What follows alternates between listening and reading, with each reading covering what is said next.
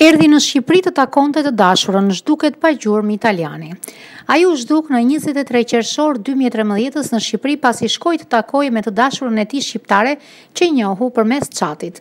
Për fatin e Ivan Pegan, 43 vjeçarit nga Fano e Italisë nuk dihet më asgjë. Ivan Pegan u nis nga porti i Ankonës në katërmbëdhjetë qershor dy mijë e trembëdhjetë drejt Durrësit me një biletë kthimi po në Ankona në njëzet e tre qershor dy mijë e trembëdhjetë. Ai parkoi makinën e tij Opel Agila të verdhë pranë portit në Ankona ndërsa po udhëtonte në Shqipëri për të takuar vajzën shqiptare me emrin Alba që jetonte në Tiranë. Ditët në vijim, kur ai ndodhej në Shqipëri pas përpjekjeve të përsëritura për ta për të kontaktuar me telefon, familja vendos të denoncojë humbjen e Ivan te karabinierët e Fanos, vend ku jetonte familja e dyzet e tre vjeçarit. Pista e tij e fundit është një tërheqje e vogël bankare e bërë në Tiranë në njëzet e dy qershor. Që nga ajo ditë ai nuk u përgjigj më në celularin ose adresën e tij të postës elektronike. Ai ishte i vendosur të niste bashkëjetesën duke planifikuar të ardhmen në një apartament që do ta merrte me qera, një të ardhme me vajzën që kishte njohur në shkurt të vitit dy mijë e trembëdhjetë pak muaj para se të zhdukej. Në prill, Ivani vjen në Tiranë ku qëndron pesë ditë. Dy muaj nga udhëtimi i parë, ai sërish pret një biletë dhe niset për në Shqipëri ku do të qëndronte për një muaj me pushime.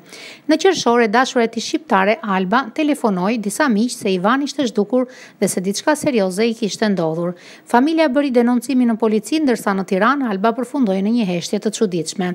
Pas atij alarmi të dhënë, Ajo nuk kërkoi më as miqtë as të afërmit e Ivanit. E motra e Ivanit, Barbara, nis të gjurmojë përmes Facebook-ut, ku mëson se Alba menaxhonte profile të shumta. Reagimi i saj kishte qenë i ftohtë se natën e zhdukjes ata ishin grindur dhe ai ishte larguar nga lokali, duke lënë aty çantën dhe kompjuterin, sende të cilat Alba ia ktheu familjes, por në kompjuter mungonte hard disku. Po pse Alba ishte e interesuar të mbante për vete kutinë e zezë të lëvizjeve dhe kontakteve të Ivanit?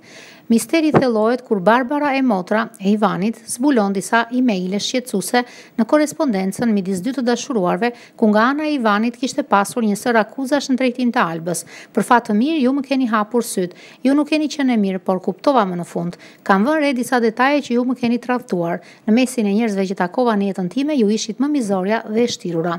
Edhe nëna juaj e di që ju jeni vetëm për të shkatërruar njerëzit. Ju jeni vetëm një kriminele kibernetike dhe emocionale.